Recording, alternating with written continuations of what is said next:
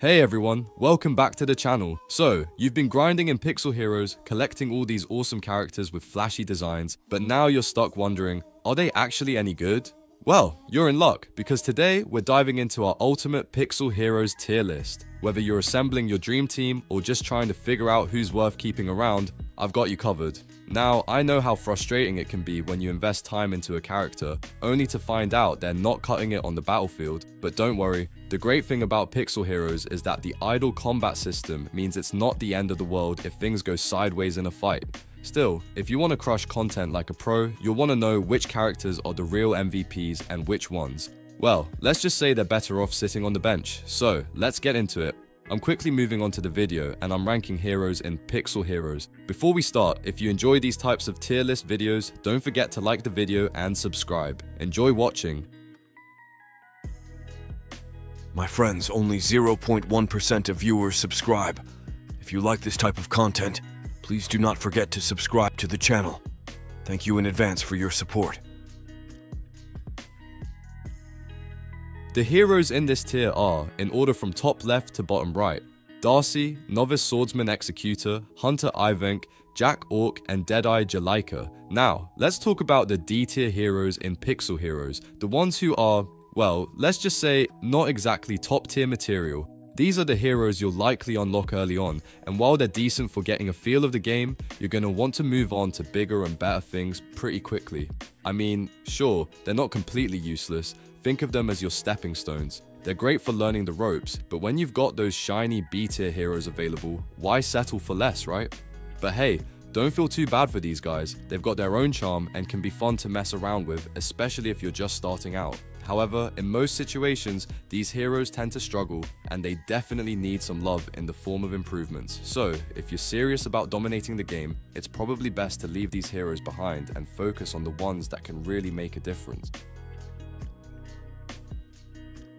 The heroes in this tier are, in order from top left to bottom right, Whisper of Wind, Royal, Shepherd's Dream Sisinina, Phoenix Garuda, Silver Hunter Diana, Bounty Hunter Edda, Novice Magician Lilith, Glory Excalibur Alande, Ice Guardian Ainu, Duo Lancer Minos, Shaman Abka, and Spirit Prophet Zorshan.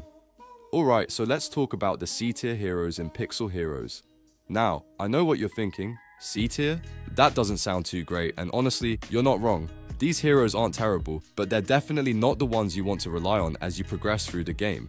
They have a few strengths here and there, and in certain boss fights or tricky battles, they might just save your bacon. But let's be real, the moment you get your hands on something better, it's time to swap them out. These heroes shine brightest in the early game, but once you start building a stronger team, their usefulness fades pretty quickly. But hey, don't write them off completely. C-tier heroes have a decent set of balanced abilities that make them versatile, if not exceptional. They're the kind of characters you can still make work if you're in a pinch, but you'll probably find yourself wishing for a little more power or specialization. They're solid placeholders, good enough to get the job done, but not amazing enough to stick around for the long haul.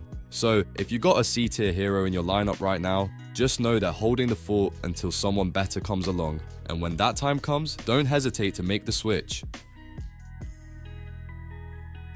The heroes in this tier are, in order from top left to bottom right, Stellar Master Alkaid, God of Death Thanatos, Dawn Paladin Brigitte, Divine Hammer Frosty, Divine Dancer Gronru, Dragonborn Mona, Forest Princess Eleanor, Wings of Wish White Star, Blast Bunny Alice, Acolyte Rafaela, Moonborn Hudson, Ent Garrett, Iron Fist, Ryu Lin, Siren Syndra, Eternal Spear Aurelia, Green Ranger Caroline, Fuzzy Prowler Anata, and Barbarian Puck. Alright, so let's dive into the B tier heroes in Pixel Heroes. Now, just because they're sitting in B tier doesn't mean they're the bench warmers of your roster. Oh no, these heroes are like the Swiss army knives of the game, solid, reliable, and totally dependable when you need them. They're not going to be the MVPs every single match, but they've got your back when you're grinding through the story mode or trying to keep your sanity in those intense competitive matches. Think of them as your trusty sidekicks. They might not steal the spotlight, but they'll definitely help you get the job done. But here's the thing, don't sleep on these guys. With the right upgrades and a bit of strategy, these B tier heroes can punch above their weight.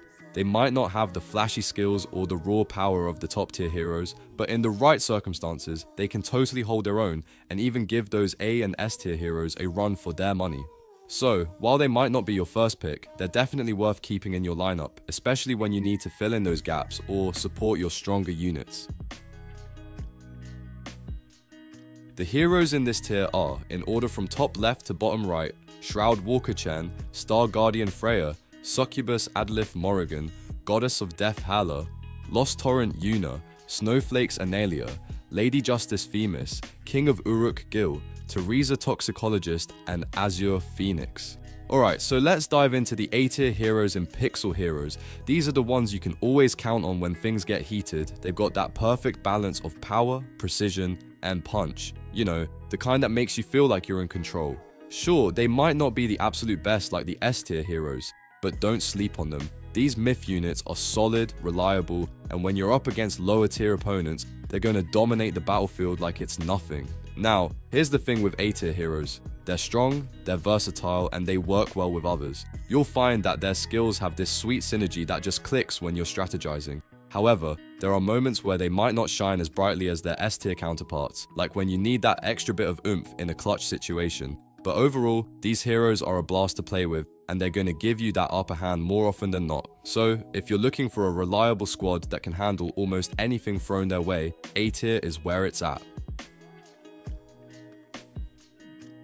The heroes in this tier are, in order from top left to bottom right, Goddess of War Valkyrie, Psychopomp Karen, God of Time Kronos, Floria Melissa, and Camarilla Bloodline Toreador. Alright, let's dive into the S tier heroes in Pixel Heroes. These are the absolute heavyweights, the creme de la creme of the game. If you're lucky enough to get your hands on one of these myth heroes, consider yourself blessed by the RNG gods. These characters aren't just strong, they're practically overpowered, with abilities that can carry you through the toughest parts of the storyline and dominate in any game mode. Trust me, if you've got them, you should be pouring all your resources into leveling them up.